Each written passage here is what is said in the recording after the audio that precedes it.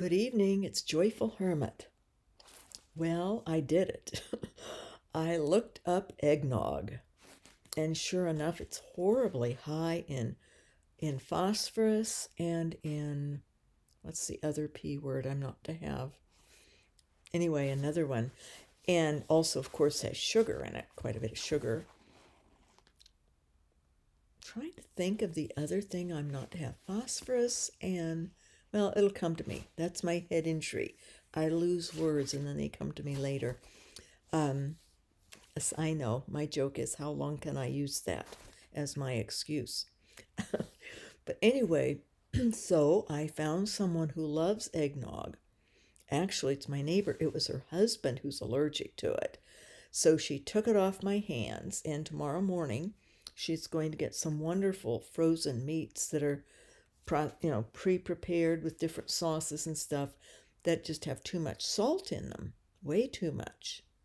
So she's delighted. I'm delighted because she's helped me so much also. When I would go to ER, she would come over and feed and take the dogs out to go to the bathroom and get them to bed and that kind of thing. So I'm very grateful for her and I wanted to do something for her, and this is working out great. Um, she's very eager to have some of my freezer things so that I cannot eat. But the eggnog, as I mentioned, that was a real bugaboo for me. And it's amazing because I think since I got off the island and I wasn't as broke and living such a hard, hard life, that I and I was yeah I was just I'd run through all the money trying to fix it up and everything else was in in the property. The more you know I had a big mortgage and then I had a down payment and and um, I think I lost a lot of the detachment ability to detach. And also um, just got into eating more and more sugar because it would help my pain level. It would augment um, keeping the pain under control because it boosts the endorphins and the dopamine, but it's not good for the body. However, I also had, um, I think it was when I was in the cathedral back in the Midwest, and I would I was adapting to total solitude especially with people, you know, not even speaking to me and things. I was shunned. I was really more isolated than what I had um, yet progressed in as a hermit to that degree of solitude. And um, so I would go to TJ Maxx, and I knew I'm very gregarious. I knew all the staff there, they got used to me and the manager liked to do extra wheeling and dealing with me. He thought it was fun. I would see something on sale and I would, you know, get a better price for it. And that was when I was also buying things for the um, Women's Care Center. My mother had said she would help me with my work on earth. And so, of course, it was her money, her, her and dad's money, that I was using. But I, I got clothing that I would blend blend me in with people at the cathedral. Because that became important i realized a hermit is not hidden from the eyes of man if you're wearing a, a habit from the middle ages per se and sticking out like a sore thumb or looking like you're a religious brother or sister. When you're not you're a hermit. You're to be hidden from the eyes of humankind in the silence of solitude to pass unnoticed by others. And so they don't even know what you are. You live your life privately, quietly, for the love of God. So, of course, you all know that this is my vocation because I'm still wonder. I probably should, maybe I shouldn't be, even if it's anonymous, I'm still a face that's talking and sharing these things. But um, I don't know. Haven't had an answer definitively at all from God on on this amount of exposure. But hermit life in this has not been my main focus of conversation. It's the spiritual life that is of utmost importance to us. So I'm back in boot camp, in renewal boot camp, boot camp 2.0 or something of the spiritual life and of detachment, of regaining the ability to just detach easily and not even think to get that eggnog. And I hadn't had in years. I tell you, what a temptation. How ridiculous. But it just goes to show what little things can allure us that no, in the spectrum of life, do not matter. And uh, this uh, friend, she's a retired nurse, private messaged me. I had written to her about my temptation of the eggnog and and how it was it had become humorous and silly and ridiculous in a way that I had such trouble that I, I hadn't looked up. I look up about everything else. I did have to look up spinach today. I'm taking some spinach back to the store because I can't have spinach. It's too high in phosphorus. Uh, and so can't that other P word's not coming. Anyway, um, so she wrote back and she says, Oh, you can indulge on something now and then, even with the sugar in it, you can have it, or the, the added uh, phosphorus and the other word um, won't won't harm your kidneys that much. And every now and then indulge yourself. And I wrote back and explained in the spiritual life when you desire to love God in his love in himself to attain to the fourth degree of love of God and to start fathoming how much God loves us and to desire to be able to love others like that that it takes a an ability to learn to train the will and the intellect to be selfless. God loves selflessly. But I don't. I'm still full of self, eggnog and all, and um, sugar, you know, and, and whatever's going to help my pain, my back pain be eased up, you know. Whereas in the past, for years, I went without any medication. Yes, it was horrible and inhumane, actually. But God was with me and I could find him in my pain. And so I worked on that this afternoon of finding God in my pain because I looked up that eggnog and realized I cannot have that. That's off the off the scale of the p words. So um, that those those elements, minerals, I guess they are vitamins and minerals. Oh, and it also had vitamin A. That's very bad for kidneys. So lots of that. So it's gone. And the other person is just delighted by it because would never get it for herself because her husband's allergic and didn't want to, you know, be enjoying it in front of him. But she's loving it. And I found it quite easy to do. And realized my foolishness and thought back about there I was, you know, getting getting these I didn't want to spend a lot of money on the clothes, but people at that cathedral dressed up. And my goal was to blend in, to pass unnoticed. So I got some enough variety of outfits um, for each season. It was back in the Midwest and um, shoes, and I had to get a winter coat and things like that. Got very good deals. I even got some jewelry to wear and um, looked the part, looked how the other people dressed. They dressed up going to the cathedral in the Midwest back then. And lo and behold, it wasn't long until I started having the mystical ec- ecstasies. So it was like God was saying, uh uh-uh, uh, no, you know, to pass unnoticed, you're going to have to do what they wanted was me to not come to mass. So that's that ended up eventually what happened. But I've got these clothes now to get rid of, and that won't be hard to do at all. there's not an attachment to those. They were really rather uncomfortable. But um, it's just doing it, the energy to do it. And I prefer reading now, or, or trying to read. I don't retain well, but trying to read and to do other things. The spiritual life, going back through notes that I had taken on books I'd read and being reminded of all these things. And then today I thought, this is boot camp, boot camp 2.0. I have to do a revised version to remind me of the detachment I had before.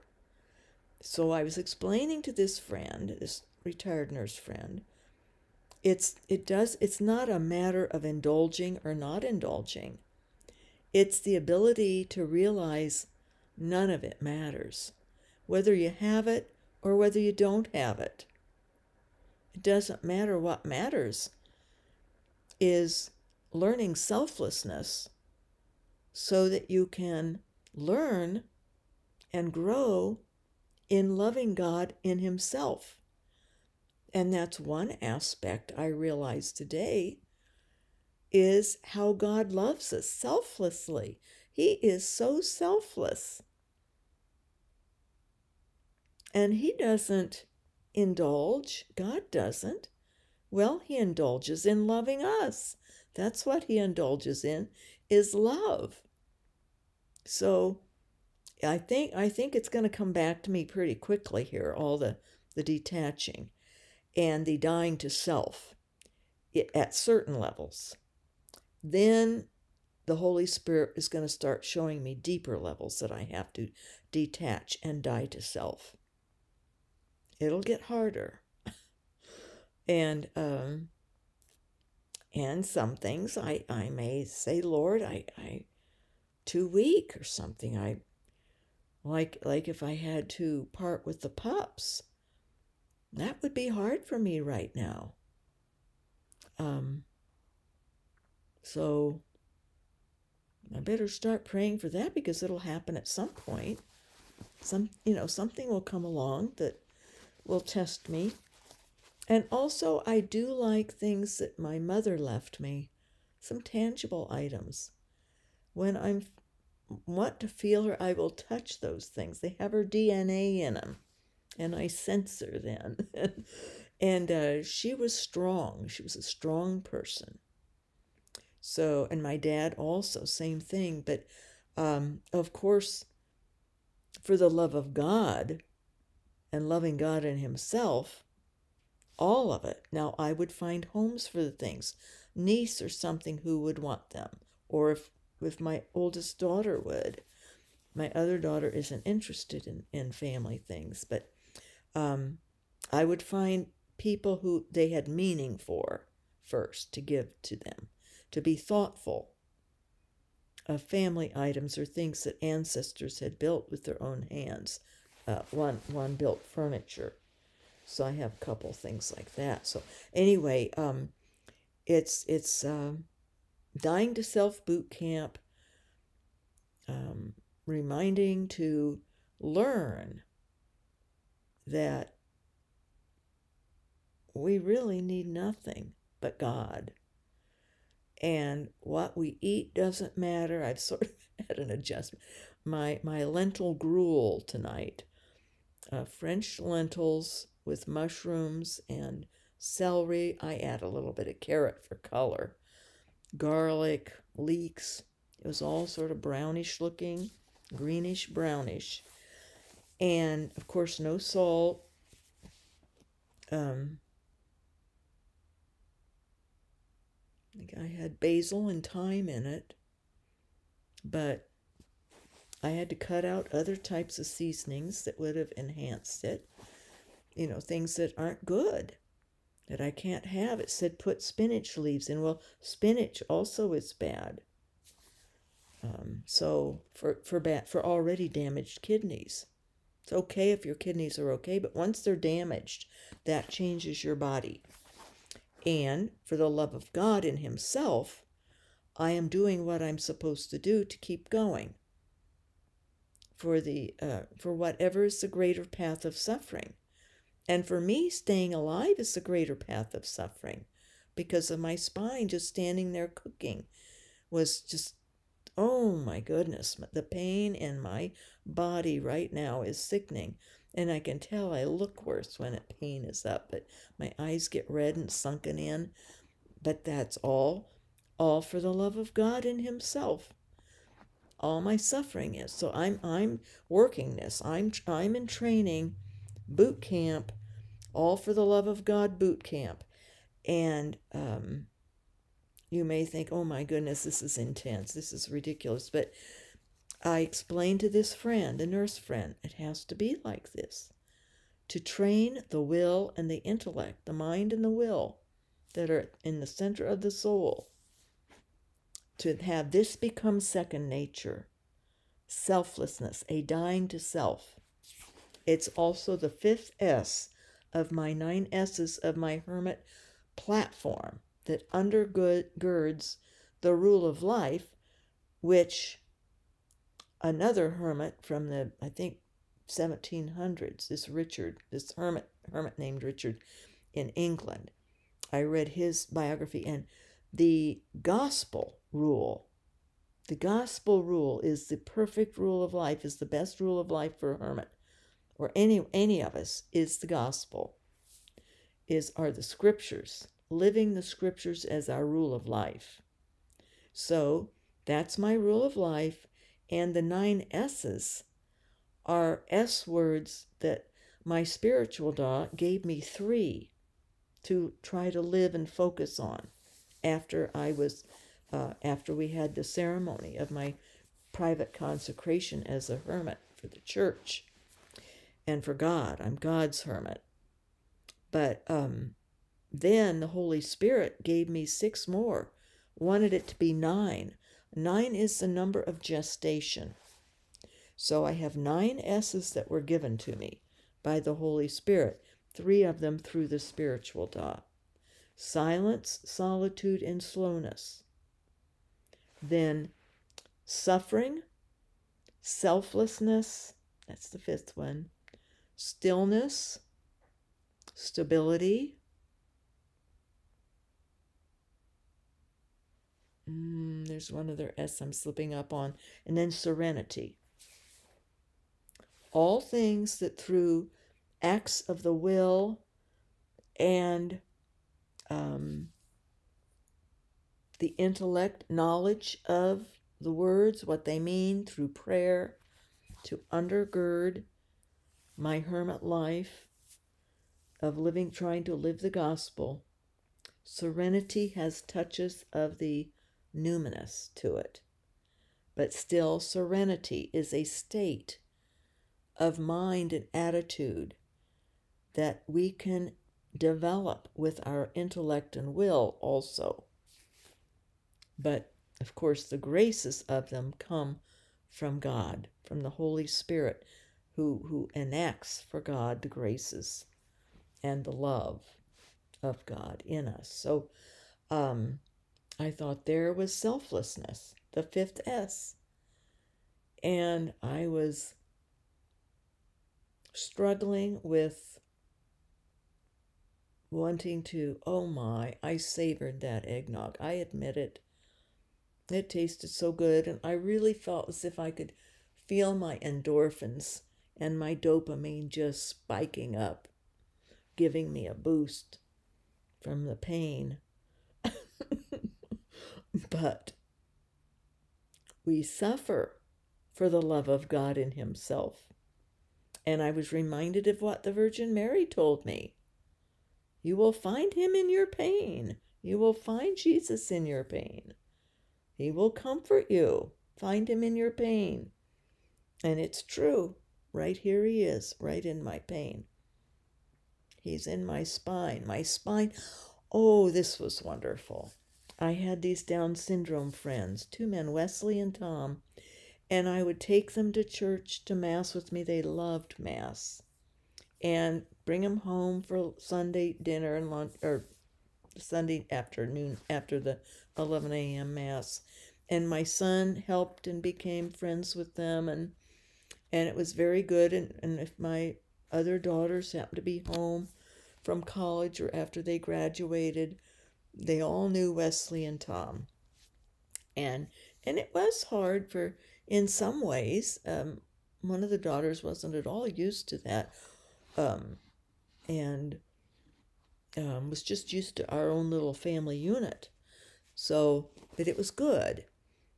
And um, one time, Wesley, oh, well, he fell in love with me. Wesley did. He, well, he went. He says, "Why can't we be husband and wife?" He says, "I had to explain to him that I was already accounted for." And and I explained to him too that he was very, very holy and chosen by Jesus too. He oh he was so holy. But one time we were driving, I was driving him home. I think we'd been to Stations of the Cross. And we dropped off Tom first, and then I went took Wesley on to his group home. And Wesley turned to me and he says, said my name twice. Uh, uh. Um, he says, "You have a cross. You're, you're, you have a cross in your back." He said it again. He says, Your back is the cross. And he just, he had a big paunch. He was about 40. Big paunch, old, older for a Down syndrome man. And leaned back and just smiled and like he knew it. He knew that I had a cross in my back, that my back was the cro- a cross. And how true is that it was God speaking through him, reminding me. So, anyway, when I moved, though, then uh, another family, well, Wesley pretty much, I think he went with the group home to a church then, and he was starting to fail in, in physically and all. And then Tom, though, a family, picked up the mantle and took him to mass and home for lunch and things and had his birthday party and I used to do that kind of thing with them and and um, it was time for me to move on. And it was getting to be difficult for me physically to uh, especially with Richard who was in a wheelchair. I had trouble getting that in and out of my trunk and pushing him. It was uh, by the grace of God, it was miraculous I could even try it. But it did, um, as I got worse and older, it it became very difficult. So I had to cease doing that. But then I moved away, and um, not super far, but too long to drive for me to sit to drive back much. So that was that. But anyway, um, the suffering we do, I am reminded, is is for the love of God in Himself and to learn another form of selflessness, of whose suffering is it? Who suffers when we suffer? The one who loves us most, the one who loves us with pure love, suffers when we suffer. And that's God. So um, we want to do all we can to please the one we love and who loves us so much. That's all part of the Song of Songs, that beautiful allegory of Christ and the beloved, of God and us. God, our lover, and us, the beloved of God. So that's all I have to say, but um, join me in uh, boot camp, All for the Love of God and Himself, if you want. And I'm starting to actively practice and train myself to have this kind of gesture, open hand, and let it just roll off. Let it roll off. And rather than this clutching in of here, Lord, or hear someone else who will like it, or hear um, for the love of God. And away from self rather than selfish me and what I want and indulge yourself. Oh, when my friend said, "Oh, you go ahead and indulge yourself." There's no there's nothing wrong with that. And I talked about that before about how it can seem strange to other people. But she's a good enough friend. I decided it's worth explaining it to her. And then she says, Well, I can't do what you do. I don't have it in me to do what you do. She said, I wish I did. Well, in the morning, I'm going to write back to her and say, Yes, you do have it in you to do these things, to practice these things, and to seek God for the love, and, love of God in Himself, and to learn to love in that way by pondering how God loves us. He loves us purely. So, those are ways that we can at least get an introduction of the type of love that God will bless us with when He wills. In the meantime, we're readying ourselves. I am. I think lots of you guys are too. So it's really the only way. We have to train the will and the intellect in our souls. The soul is the seat of love in our being. And that's where God, through Jesus and the Holy Spirit, radiate love to us, is into our souls. So we can talk about that too. I, I have some notes on that in the John of the Cross course um, that I took over in Avila, Spain, the summer after my mother passed. My daughters encouraged me with that. My son was fine with it too that I go do that, attempt it. We didn't know if I would even make it. And I did bottom out. I had to fly back soon. I didn't get to stay as long as I had planned. It was going to be another dream come true. To they were they had arranged for me to have a, uh, a an apartment of the Carmelites right across from the monastery where Teresa of Avila's incorruptible heart is and where she had died, the last convent that she had stayed in. And I was going to be allowed to stay in their visitor apartment for three months, just stay there and pray and explore and read. I had books, but my body couldn't do it.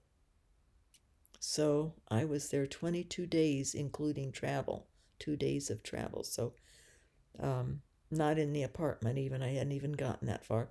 I was blessed to be able to stay in a in a community, a religious community, an old old like a castle they call them, but they were small. They were like mansions for noble people. And um, in Avila, in the old town of Avila, in within the walls, and uh, but they were having the hottest summer in ten years, and there was no air conditioning and my pain just skyrocketed and I became so ill that I and also something came over me that was sort of felt like I, I needed to get back. I needed to get back. Part of it was this priest that was in trouble that um, I was dealing with. But it was um, mostly just I knew that it, the pain was going to get very, very bad. And they weren't equipped for that. To, to no one, you know, weren't responsible to take care of me when that happens, and it gets very intense. The pain does when it gets out of control. So, and with the weather like that, it wasn't going to change either. I was going to be sick, pain sick. So, got back, but um, it was a miracle. I made it. Um, God has allowed me things that I ordinarily can't do. And that's also proof that, yes, if it's something God wills, like detaching and learning selflessness, so that we can better learn to love as God loves, His selfless love, then he'll he'll help us. He'll he'll make it happen. So I've got to explain this to that friend. Yes, you can. You you do have the capability. If you want that, you don't need to. She's um she believes in God. Um, she's very angry against the Catholic Church because of a husband that she married who was Catholic and had not the spiritual life in him or attitude. It was more things that had been passed down that really still aren't that accurate. She was convinced of some things, and I said, No, the Catholic Church does not believe that. That's not part of the theology. Well, my husband said, and I said, Well, but he was misinformed, brought up with some different ideas. So um, that's what we do also is try to help people understand and not give up faith, not give up their faith. Um, she's not going anywhere, but she's ill now herself, so it it's okay. We get to that point where where we can't physically participate. And often by then, we have a relationship with God that is very intimate. And that's something I was, I was reading about uh, Blessed John Tauler, T A U L E R, 13th century mystic, German. And uh, he wrote, to his fame are 80 sermons that were outstanding that he wrote and preached back when he was alive. But he was one who understood. It was a more of a new a new breaching into this idea and notion, not notion but reality, that um, as Tauler put it, doing external exercises is that if you can have intimacy with God and get to know God personally, that's as beneficial, if not more, than doing spiritual exercises of, you know, like reading through so many prayers or uh, praying so many of this or that and or of um, fasting on bread and water, that rather than doing these external action exercises of being close and getting to know God personally, is very important, and more so in a way. To have an intimate relationship with God will progress us spiritually. That's what Tauler was getting at. So I thought that was good to share with you too, that these things evolved over time. The progression, the Holy Spirit enlightening, um, different souls on earth, different mystics and others, to recognize these things and to then change the trajectory of what everyone thought up until that time. So um, the boot camp, the doing the exercises of detachment, is for the training of the will and the intellect to the point of selflessness, so that selflessness becomes second nature. It's not for the sake of denying ourselves something, a treat or whatever. That's it's the exercise of training ourselves. To deny our self love is what it is. So I wanted to explain that. God bless His real presence in us, and I will get back to some other videos that don't deal with this topic. I'm just finding I'm on a roll. God has me on a roll of being inflamed by this because I asked for that. That the living flame of love would catch me on fire. for love of God and Himself. So it's, you know, ask and ye shall receive, especially if it's something that God wills. And God does will us to love, to love God in Himself and to understand all the aspects and attributes of how God loves us so purely. That helps us to understand and to know and to learn and then to practice and then to wait for God to give us that gift, that supernatural gift of pure love. Maybe a little bits of it on earth, and definitely as we progress on the other side. That's the goal.